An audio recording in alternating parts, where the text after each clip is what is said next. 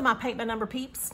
Okay, I have another paint by number to discuss today, and this one is from Canvas by Numbers. Now, I've mentioned them in the past, but because of COVID-19, I wanted to order something from them and see if they are still holding true to what I've experienced in the past. It's been probably eight or nine months since I've ordered from them. And I just wanna see if their quality is still there or if it's even higher now and whatnot. So this is the image that we're gonna discuss today. And I'm actually gonna put a picture of him right here. Look, how cute is that? so cute. All right. So what do we have here? we have our vacuum sealed paints, which I love because that keeps them from drying up and it keeps them from spilling in shipment. So that's fabulous. And here are gonna be the tacks that go with the frame when we do assembly for that. So I'm gonna set these aside because I'm not doing these today. I don't have space for it right now while we're packing and moving. We have our little paint brushes and our hanging hardware back here, and these are gonna go in my box as well, or on the floor where I dropped them. And then we have a little paint palette, which is cute. I've never seen one of these added to an order before, which but I like it because it's a little handy tool to mix your paints with um, if you need to do that, or if you like to scoop them out and use them from here. Um, but that's a nice little touch. But for right now, let's open up this canvas and check out these paints. Point out a couple things right off the bat. Very smooth canvas, so I will be um, using clear gesso over the top. But I want you to notice it's got yellow letters and numbers. They're very visible, but they're not gonna be a nightmare to cover, I don't think. We're gonna swatch some of these paints, so we're gonna check it, but that is fantastic. I'm super excited about that. All right, we have our black and white reference guide, Halla Freaking Luya. And, um, and let's open paints and check these out real quick. When I buy or get sent an uh, any paint by numbers or diamond painting, I save a photo of the painting in a file on my phone. I make an album called Paint by Numbers. I make an album called Diamond Paintings so that every one I order will go in one of those folders. So when I go back later and I'm looking at a painting, I'm like, I have 70. So how do I know if I've already bought it before or if a company's already sent me one like that before? So I go back into my albums on my phone and I look to see if I have it already. It also helps me keep an inventory of what I've got. As I complete one of those projects, I will take it out of that paint by number album or that diamond painting album and I will put it in a completed artwork album on my phone.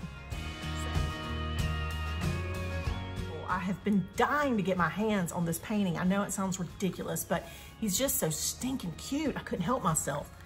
All right, so let's test some of these paints. I'm not gonna talk during this part. I will actually fast forward it, but I'm gonna test a few, see how they are, see the qualities there, see if they're creamy and all that jazz. Um, some of these, I'm a little terrified that they're gonna be super transparent because of the way they look, but I'm gonna try them out anyway.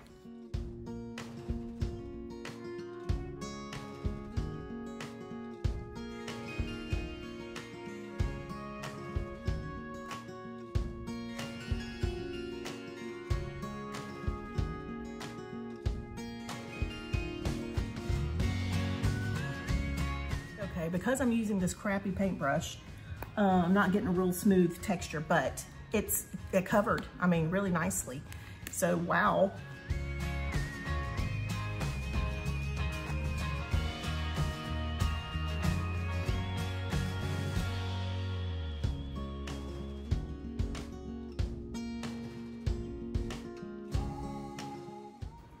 Mmm. Guys, be careful opening these up because they are creamy. Such a perfect consistency. But I'm over here making a mess.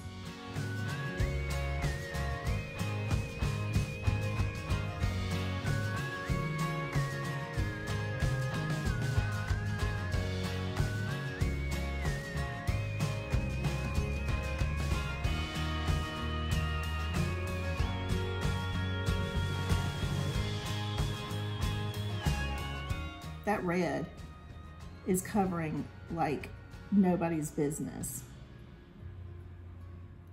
that covered that so beautifully. Oh my God. I love it.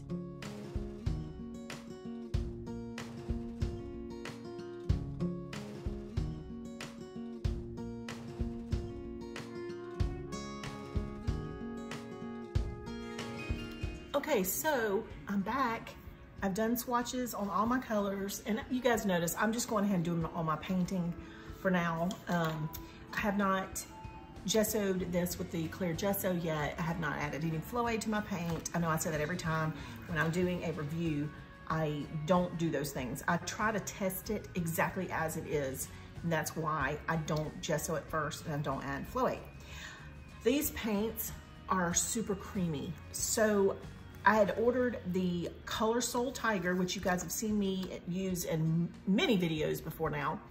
And the paints were really nice. Um, but I think that they have even taken, taken those paints up like five notches because they're super creamy. They've got more opacity. Um, I think I only had four that are not opaque out of the 24. But the paints are super creamy. So my thinking on this is, First of all, this is a legit company, Canvas by Numbers. I will put the link in the description for those of you who don't know where the description is. I have a video about where to find the links that I give you each time. And um, so make sure you watch that video. But this link will be in there. I am super impressed as always, and I cannot wait to get this little booger done. Okay, guys, I hope you've enjoyed this and I hope it was helpful and I hope it helps you trust Canvas by Numbers because they're fabulous and their customer service is wonderful. So um, that's it for today. Have a wonderful day. You guys stay safe. Don't be out there without wearing your masks and stuff. I'm just kidding. I'm not getting on that soapbox. All right. I will see you back soon. Thank you as always for watching.